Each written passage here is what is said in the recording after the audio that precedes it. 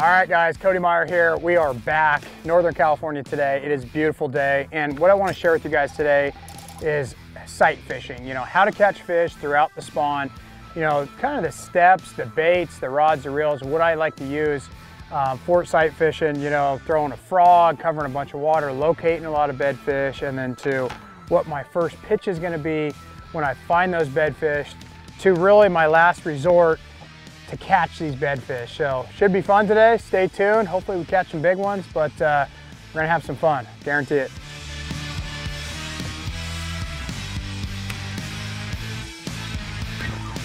There he is.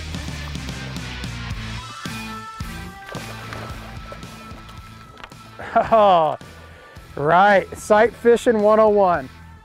Definitely in the mouth right there.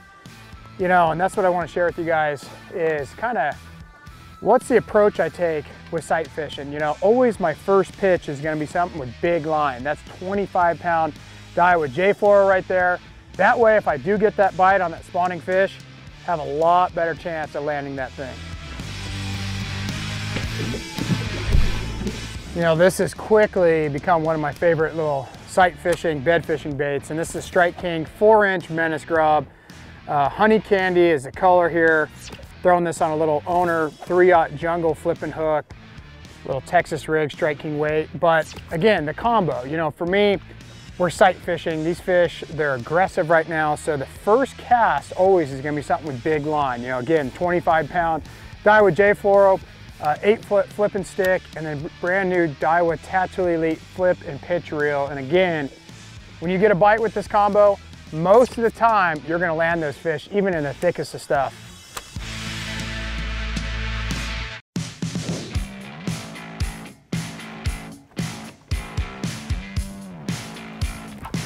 Oh, there he is. Nice one. It sure is nice having that guy with Tatula Elite eight foot flipping stick.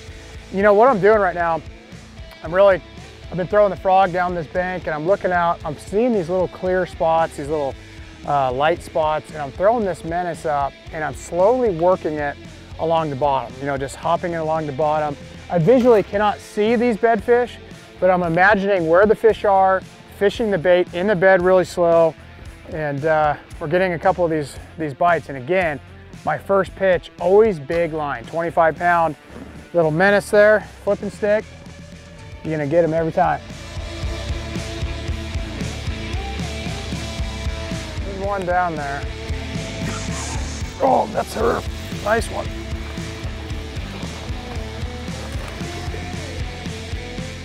Man, another nice one right there. You know, I love this little Strike King Menace. It's so small and compact. Again, on the bigger line, I mean, that's a nice male. And we're, we're just getting into an area where there's a lot of fish. So again, my first cast is always gonna be with bigger line, try to get that, that bite. Um, but again, when you can't get some of those fish, I result uh, to going back down to a spinning rod, lighter line, you know, maybe something like a Ned rig. And I wanna catch as many fish as we can. So let's go ahead and put her back and keep going.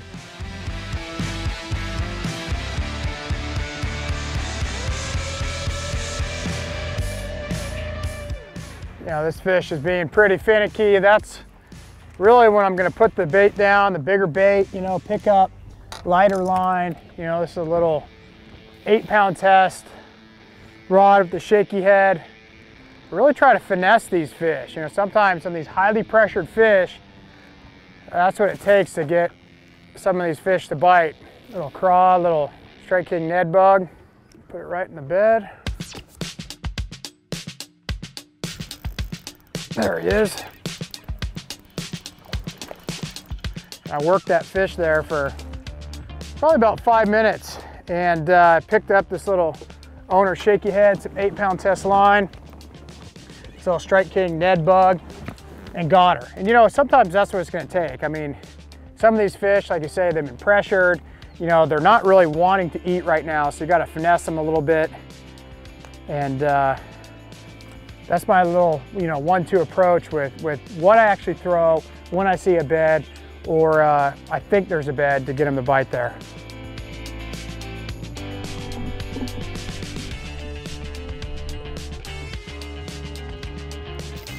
Got him. Oh, it's a nice one. That is a nice one. A little light line.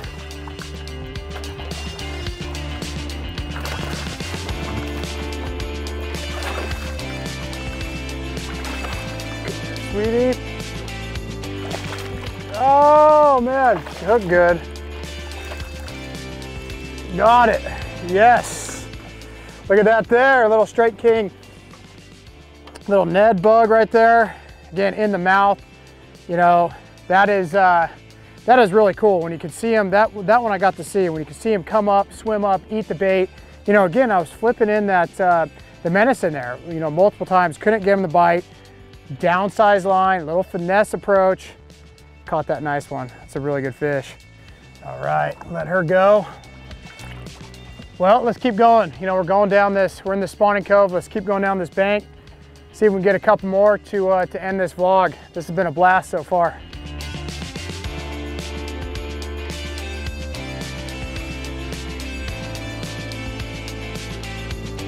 Oh my gosh.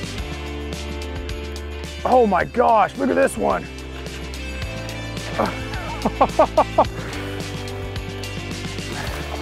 Big one to say the frog, choked it too. Come here, oh, got her. That is why, look at that, sexy frog gone. I love to throw the frog, you know, in the spring when I'm looking for bedfish, really going down the bank, throwing the frog as I'm looking, and catch a lot of really good fish just like that. That was awesome. Go ahead and release her.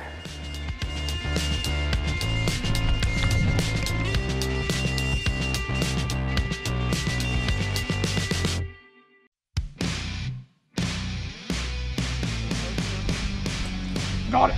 Look at that. Look at that, it's a big one. You know, that's why I'm throwing the frog, I'm covering a bunch of water, here comes this fish. Always have a follow-up bait, you know, a little Strike King Ocho, just like that. Look at the size of this one. Finally wearing her down. Right on, come here. Got her. Look at that there, little Strike King Ocho. Like I say, have a follow-up bait. You know, we've been throwing the frogs and uh, it's just a good follow-up bait. You know, when you see those fish, they come up, they show themselves like that fish did. Always have something ready to throw it back in there and catch another one.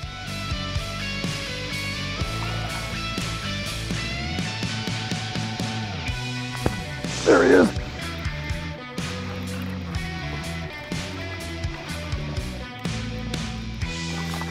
Aggressive little fish there. Hey, still fun on a frog, you know. Like I say, we're cruising down. It's been a blast so far. You know, catching them on a frog, sight fishing them. The main reason I'm throwing frog is covering water as I'm looking for some of these bed fish. Decent fish right there for sure. All right, another nice little fish. You know, when I'm throwing the frog, this is Strike King sexy frog, uh, the, the, equipment, the setup is really, really important. You know what I like, this is a Daiwa Tatula Elite, seven foot, four inch, uh, heavy rod. But what I like is something that's not too heavy. Um, you don't need an extremely heavy flipping stick. You just need something that's, uh, you know, around that seven two to seven foot, four inch uh, mark. Really a medium heavy to a heavy rod. I like a rod with a softer tip. That way it really allows you to work that frog. You know, if you have a really stiff um, tip, you can't work the frog, get that side-to-side -side walking action. So I like a, a, softer tip with a lot of backbone.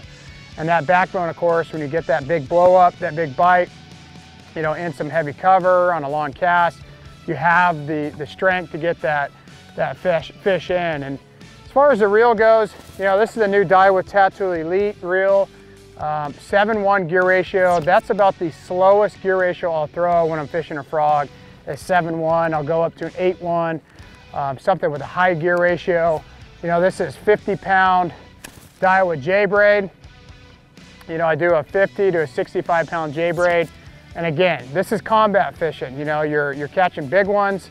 And this is the time of the year I feel like where you catch some of your biggest fish on a frog, covering water like this, fishing around some of those pre-spawn, uh, spawning fish. You get some really big blowups and catch some really big fish.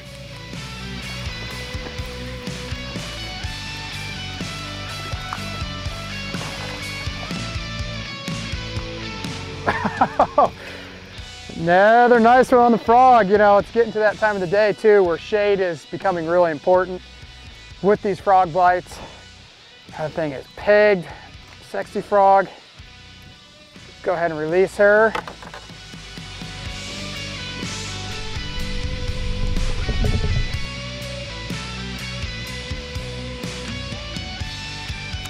Oh, here we go, dude.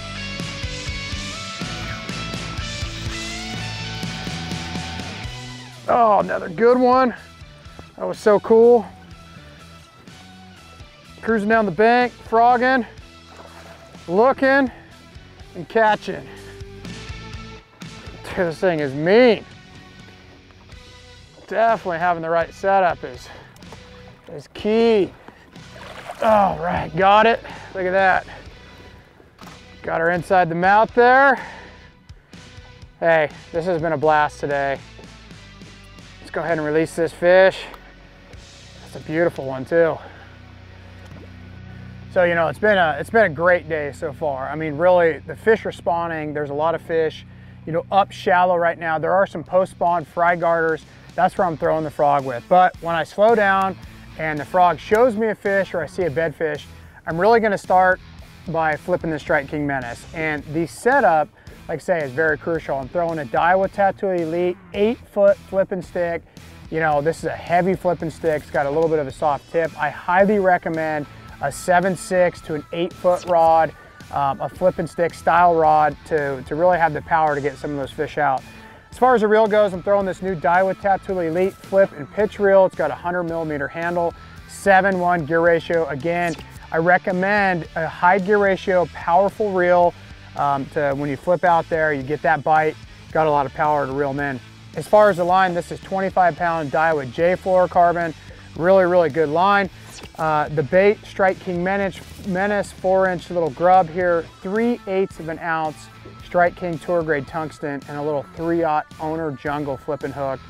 Really, really good for, for sight fishing. And my last approach, again, this is a three prong approach here. We got the frog, we got the menace on heavy line.